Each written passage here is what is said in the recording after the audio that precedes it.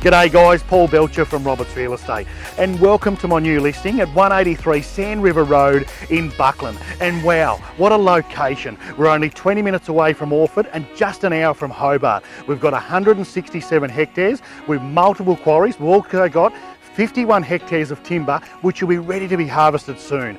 If you've been looking for that perfect block, then look no further. I'm available seven days a week and I'm here to help.